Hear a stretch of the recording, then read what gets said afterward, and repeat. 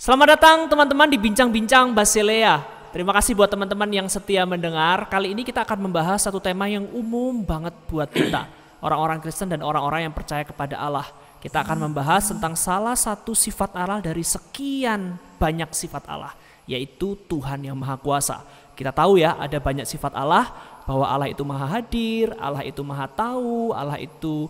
Uh, Maha Kasih. Dan kali ini kita akan membahas salah satu sifat di antara sifat-sifatnya, yaitu Tuhan yang Maha Kuasa. Karena sering kali ini menimbulkan problem, menimbulkan pergumulan. Misalnya ada orang yang percaya bahwa Allah itu benar-benar Maha Kuasa. Tetapi kenapa kok pada saat dia berdoa, Tuhan kayak tidak menunjukkan dia itu benar-benar Maha Kuasa. Kalau Tuhan Maha Kuasa kan saat kita berdoa benar-benar minta Tuhan sembuhkan orang yang kita kasihi. Tuhan pasti berkuasa kok menyembuhkan. Tapi kok jawabannya lain? Nah ini yang sering kali menjadi pergumulan buat sebagian orang sampai ada yang meninggalkan imannya karena bergumul akan hal ini. Oke, aku nggak sendirian teman-teman, aku ditemani oleh seorang anggota remaja yang sebenarnya sudah lulus dari remaja ya, karena dia sudah masuk ke jenjang perkuliahan saat ini. Dan puji Tuhan, Tuhan memberi kesempatan bagi teman kita ini untuk bahkan masuk di fakultas kedokteran. Wah, luar biasa sekali. Namanya adalah Toto, ya. Tetapi Toto ini sebetulnya singkatan. Nama lengkapnya siapa toh? Christopher Santoso. Iya, nama lengkapnya Christopher Santoso. Oke, Toh, mungkin langsung aja nih. Aku coba tanya sama Toto, kira-kira dari pemahaman Toto sendiri setelah menjadi orang Kristen sekian tahun lamanya, apa sih arti dari Tuhan yang Maha Kuasa? Menurut pengertiannya Toto, Tuhan yang Maha Kuasa itu apa dan seperti apa? Kalau menurutku, Tuhan yang Maha Kuasa itu adalah Tuhan yang berdaulat dan mengatur segala sesuatu. Kalau dalam bahasa kerennya disebut sebagai Sang Penentu Takdir. Dia adalah Tuhan yang menentukan segala sesuatu ya tuh ya? Iya, Go. Dan dia adalah Tuhan yang menentukan takdir. Boleh dipertajam nggak tuh? Maksudnya itu apa? Bagi diri kita sendiri itu Tuhan itu artinya Tuhan penentu segala sesuatu dalam kehidupan kita berarti artinya itu apa buat kita? Tentunya dalam kemahakuasaan Tuhan tidak terlepas dari kemaha kedaulatan Tuhan. Hmm. Namun Tuhan kan menciptakan manusia dengan kehendak bebas. Tapi bagaimanapun apa pun yang kita lakukan, kita tetap tidak bisa lari dari Tuhan. Karena hmm. kehendak Tuhan pasti akan selalu menangkap kita dan selalu membawa kita seturut dengan kehendak Tuhan. Oleh karena itu kita harusnya memba oleh karena itu kita seharusnya menggunakan kebebasan yang kita miliki, kebebasan dari dosa, tetap untuk melayani Tuhan seturut dengan kehendak Tuhan. Begitu kok mungkin kurang lebihnya. Oke oke, berarti Tuhan yang berdaulat itu memberikan ruang bagi bagi setiap kita untuk membuat pilihan-pilihan dalam hidup ini ya toh ya. Tetapi kita juga harus menyadari bahwa pilihan-pilihan kita itu bagaimanapun harus sesuai dengan kehendak Tuhan karena Tuhan itu yang berkuasa mengontrol, mengatur hidup ini, kita harus mengambil pilihan benar-benar yang terbaik yang memuliakan Tuhan dan sesuai dengan kedaulatan Tuhan gitu tuh ya. Iya, Ibaratnya ini dunia ini ini seperti uh, panggung, sebuah panggung di mana kita tuh berdiri di atasnya dan Tuhanlah yang memiliki panggung itu. Kalau kita tidak mengikuti apa yang menjadi peraturan dari panggung itu, apa yang harus kita lakukan di atas panggung itu berdasarkan ketetapan yang dibuat, maka kita tidak cocok untuk ada di panggung itu karena nggak sesuai gitu dengan aturan-aturan yang ada di situ. Gitu ya, Toh ya? Kurang lebih begitu kok. Oke, mungkin bisa lebih lanjut lagi Toto bisa menjelaskan yang lain lagi. Apa itu menurut Toto kemahakuasaan Tuhan? Tuhan yang maha kuasa itu apa? Nah, kalau nah seperti yang tadi dibicarakan, Tuhan kan maha kuasa, Tuhan yang menentukan segala sesuatu. Hmm. Ini, ini kan kita diberikan kebebasan, tapi kita tidak bisa lari dari kehendak Tuhan. Tapi, kebe, tapi kita tidak dikendalikan seperti robot oleh Tuhan. Oleh karena mungkin ini agak membingungkan karena memang kemahakuasaan Tuhan itu sangat besar dan kita hanya memiliki manusia yang memiliki akal budi yang sederhana. Kita manusia sebenarnya tidak bisa memahami kemahakuasaan Tuhan dengan akal budi kita yang sederhana ini. Hmm. Kecuali kalau misalnya yang maha kuasa itu sendiri atau Tuhan memperkenalkan atau mengizinkan kita mengenal dia. Dan Tuhan sudah benar-benar melakukannya. Pertama kali dituliskan dalam Alkitab yaitu dalam kejadian 17 ayat 1 Tuhan mengatakan bahwa Al Tuhan mengatakan kepada Abraham bahwa Akulah Allah yang Maha Kuasa, hiduplah di hadapanku dengan tidak bercela. Tuhan mengatakan hal ini untuk menunjukkan bahwa Tuhan berkuasa atas segala sesuatu dalam kehidupan kita. Oleh karena itu, kita harus hidup seturut dengan kehendak Tuhan. Kembali seperti kembali kepada firman Tuhan. Oke. Berarti dari ayat firman Tuhan itu apa yang bisa kita pakai untuk kehidupan kita tuh? Dari ayat ini kita bisa memahami bahwa Tuhan sendiri itu adalah Tuhan yang berinisiatif untuk membuat manusia mengenal Tuhan dan bisa memahami kemahakuasaan Tuhan. Jadi segala sesuatu yang kita bisa bilang kita bahas sekarang ini adalah berkat Tuhan karena kemahakuasaan Tuhan itu sendiri. Jadi segala sesuatu telah di segala sesuatu telah diatur oleh Tuhan seluruh dengan kehendak Tuhan. Oleh karena itu kita juga harus melakukan segala sesuatu sebaik mungkin seturut dengan kehendak Tuhan. Kalau kurang lebih gitu kok. Oke oke oke. Kita harus kembali kembali kepada Alkitab. Mm -mm. Kalau di dalam Alkitab sendiri uh, kata Allah yang Maha Kuasa ini uh, sering dipakai untuk memuji Tuhan ya kayak kita nyanyi-nyanyi puji Tuhan itu kan ada Tuhan yang maha kuasa apa itu kan juga sering dilakukan oleh Daud dan Salomo. Hmm, hmm. Tapi selain ternyata selain uh, untuk memuji Tuhan di dalam Alkitab juga ditemukan kata penggunaan Allah yang maha kuasa ini paling sering digunakan oleh kitab Ayub di mana hmm. Ayub itu berdoa dan uh, memberikan uh, istilahnya keluh kesahnya kepada Tuhan. Dia hmm. dalam doa-doanya dia mengatakan bahwa Allah yang Maha Kuasa dapat melakukan segala sesuatu. Dia menunjukkan bahwa Tuhan Allah yang Maha Kuasa ini tidak terbatas sedangkan dia menunjukkan keterbatasan manusia yaitu dirinya sendiri. Namun hmm. hmm selain Ayub juga ada satu tokoh di Alkitab lainnya yang menggunakan yang memanggil Tuhan Allah yang Maha Kuasa ini dalam konteks uh, bisa dibilang dalam konteks uh, bersungut-sungut atau mungkin lebih tepatnya uh, lupa namanya ya kok bentar. nama lainnya bersungut-sungut. Bersungut-sungut nama lainnya menggerutu. menggerutu ya Nah, ada salah satu tokoh lainnya itu penggerut yang juga bersungut-sungut yaitu Naomi. Oke, Naomi. Naomi ini dalam kisah Ruth dia adalah seorang Bethlehem Yahudi eh Yehuda Yud. yang pergi ke Moab bersama dengan suaminya dan anaknya. Lalu anaknya menikah mendapatkan uh, istri, istri, salah satunya Ruth. Hmm, nah, tapi hmm. di Moab situ uh, suami dari Naomi dan anak dari Naomi atau suami dari Ruth itu meninggal. Oleh karena itu, Naomi ingin kembali ke Bethlehem, Yehuda. Namun di tengah hmm. perjalanan itu, Ruth mengatakan bahwa eh Naomi mengatakan bahwa Ruth dan salah satu uh, namanya apa? Menantu. Ruth dan satu menantu lainnya untuk per, uh, pengizinan mereka untuk pergi kembali ke tanah mereka.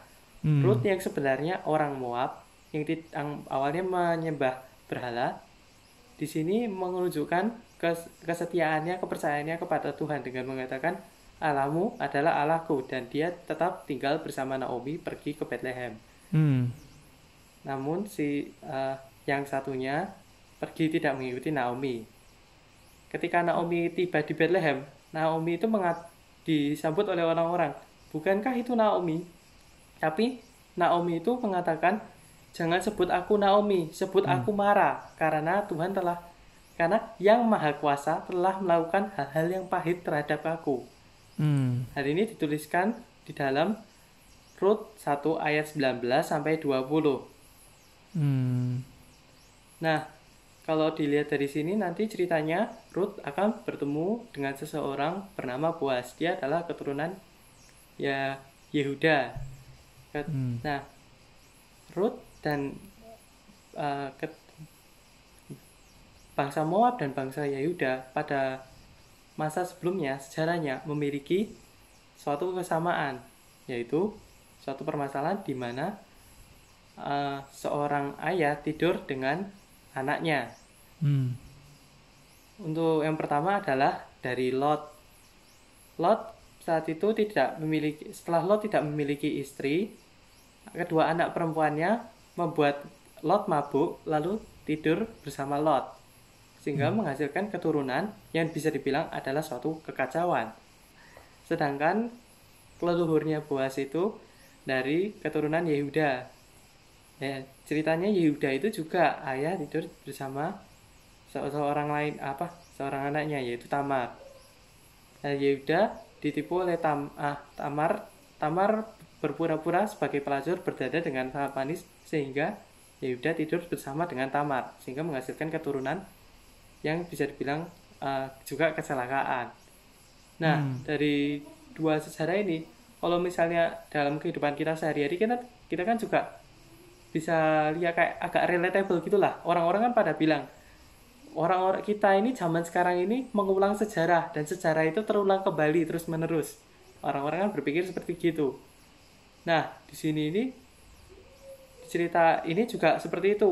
Lihat dari keluarganya si Ruth, uh, asal usulnya itu dari keluarga Lot yang merupakan dari kecelakaan itu dan dari Yehuda dan Tamar dari Boas itu memiliki dua-duanya kesamaan uh, kesalahan dalam hawa nafsu sehingga menghasilkan keluarga yang mungkin dibilang bisa dibilang adalah keluarga yang kecelakaan. Nah mungkin orang-orang juga akan berpikir ini Ruth nanti ketemu sama si Boas ini dua-duanya memiliki leluhur uh, yang memiliki hawa, apa permasalahan hawa nafsu sehingga menjadi keluarga celaka. Kalau misalnya dua orang ini bersatu, apa nanti bagaimana jadinya keluarga mereka? Bukankah keluarga mereka akan tambah kacau? Dan di sini pula Naomi juga mengatakan kepada Ruth supaya Ruth berdandan dengan sangat manis, berdandan dengan sangat manis dan membawa anggur kepada Boas supaya Boas mabuk dan Boas akhirnya tidur di atas jerami dan Naomi menyuruh Ruth untuk tidur bersama Boas. Nah, di sini kan sangat mirip seperti Ruth uh, Boas yang mab, uh, mabuk-mabukan dan tidur seperti Lot yang mabuk oleh anggur yang dibawa oleh anaknya. Lalu Ruth yang berdada manis seperti uh, Tamar yang tidur bersama Yehuda. Nah, dua hal ini apa itu namanya? Dua hal ini sudah pernah terjadi di sejarah dan mungkin orang-orang mengatakan sejarah benar-benar terulang kembali. Tapi ternyata Tuhan berkehendak beda. Dari sini kita bisa melihat kemahakuasaan Tuhan ini ditunjukkan bukan ketika orang-orang seperti memiliki kekuatan superpower seperti Simeon itu Gideon atau semacamnya itu tapi Tuhan juga bisa menunjukkan kemahakuasaannya kepada orang-orang seperti kita kepada Tuhan bisa menunjukkan kemahakuasaannya justru ketika manusia itu lemah ketika kita itu lemah. Nah di sini Tuhan menunjukkan bahwa ternyata Ruth di situ tidak tidur bersama Boas dia justru memeluk kaki Boas dan dari sini setelah itu nanti ada cerita selanjutnya bahwa Boas akhirnya menjadi penebus Ruth dan dia menikah dengan Ruth. Dan ternyata keturunan Ruth ini akan menghasilkan keturunan Daud itu juga yang merupakan keturunan Yesus nantinya. Hmm, hmm, hmm. Nah, jadi Tuhan itu memiliki kuasa yang sangat besar dan dia bisa mengatur segala sesuatu. Mungkin kan kita berpikir seperti, oh, kalau misalnya kita nggak tahu apa-apa kayak ceritanya tadi, mungkin kita pikir, aduh ini dua orang sudah dari keluarga celaka, nanti mereka kalau nikah memiliki keluarga yang lebih celaka lagi. Ternyata tidak. Sejarah tidak terulang kembali. Tuhan memiliki kuasa di atas sejarah. Tuhan memiliki kuasa di atas waktu. Dia bisa melakukan segala sesuatu sesuai dengan kehendaknya dia sendiri. Jadi Tuhan berkehendak lain sehingga dari keluarga Ruth dan keluarga Boas penyatu bisa terjadi uh, keturunan yang akhirnya melahirkan uh, Yesus dan Daud. Hmm. Iya. Jadi okay. Tuhan memiliki kehendak yang tidak bisa kita pikirkan di luar hmm. dari pemikiran kita. Oke, tuh kita sedikit banyak sudah paham ya sekarang ya. Tadi juga dari ayat-ayat firman Tuhan yang Toto tampilin, Tuhan bekerja itu sangat mungkin di luar pikiran kita.